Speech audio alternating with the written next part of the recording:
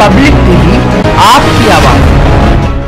सोमवार की शाम कांट रोड पर विशाल मेगामार्ट के पास उस समय अफरा तफरी मच गई जब पुलिस के साथ पहुँची बैंक की टीम ने वहाँ दुकानों में सील लगानी शुरू कर दी। अनियमित तरीके से दुकानें सील करने की कार्यवाही पर व्यापारी भड़क गए, जिसके बाद बैंक अफसर बैकफुट पर आ गए और दो दुकानों पर लगाई गई सील तोड़कर लौट गए। कांट रोड स्थित कई दुकानों पर बकायेदारी के चलते पंजाब नेशनल बैंक के अफसरों ने पुलिस फोर्स के साथ पहुंचकर विशाल मेगा मार्ट के पास दुकानों को सील करने की कार्यवाही शुरू कर दी। इस दौरान कुछ व्यापारियों ने कोर्ट का स्टे होने और बैंक टीम के पास दुकानों का नक्शा नहीं होने का हवाला देकर कार्यवाही का तीखा विरोध किया। व्यापारियों का विरोध देकर बैंक की टीम बैकफुट पर आ गई। इस दौरान टीम ने दो दुकानों की सील तोड़ी और वापस लौट गई। विशाल मेगा मार्ट के स्थित दुकानों में कार्यवाही के दौरान अफरा तफरी का माहौल बना रहा। आपको बता दें कि पीएनबी रिकवरी एजेंसी के आरएम पुनीत ने बताया कि कांट रोड स्थित विशाल मेगा मार्ट के पास कई दुकानों पर करीब 20 करोड़ रुपए बैंक की बकायेदारी है। पंजाब नेशनल बैंक की दिल्ली शाखा की ओर से इन दुकानों को रिकवरी के लिए सरफेसी एक्ट के अंतर्गत नोटिस जारी किया गया है।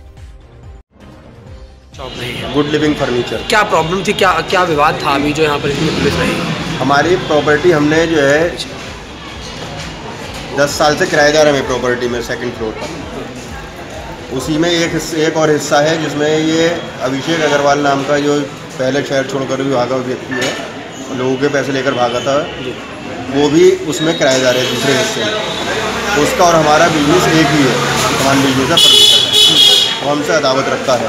एक तरफा बिज़नेस करना चाहता है कम बिज़नेस में कंपटीशन में हमसे जीत नहीं पाता तो वो अलग अलग हथकंडे अपनाता रहता है। उसने अपने रिश्तेदार के साथ मिल करके इस प्रॉपर्टी को तीन बैंक में दो दो बैंक की तो नॉलेज है तीसरा बैंक भी खड़ा हो रहा है तीन बैंक में गिरवी अलग अलग हिस्सों को एक ही हिस्से को तीन जगह गिरवी रख दिया।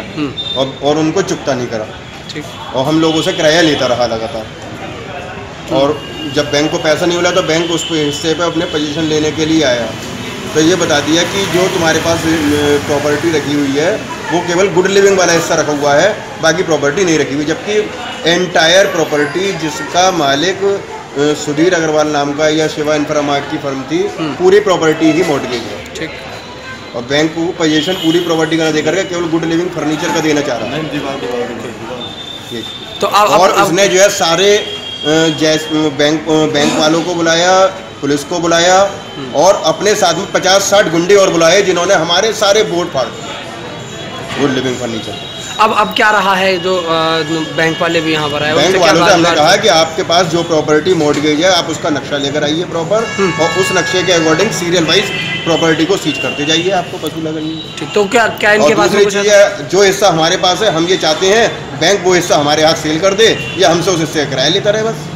क्या इन क्या बैंक वालों के पास में कुछ ऐसा कुछ मिला है, जो कोई कागज़ नहीं लेकर आए। एमडीए का ओरिजिनल वो वो कोई कागज़ नहीं लेकर आए कोई कागज़ नहीं दिखाया उनका ये कहना है कि वो ये कह रहे हैं कि कागज़ आप दिखाओ हमें। जब उनके पास कोई कागज़ नहीं है सीजिंग का राइट उनके पास कैसे है?